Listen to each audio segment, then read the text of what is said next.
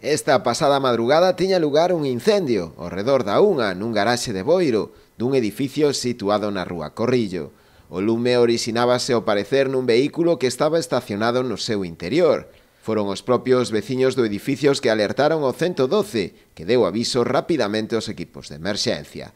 Trasladáronse ao lugar efectivos do Parque de Bombeiros de Boiro e da Agrupación de Voluntarios de Protección Civil.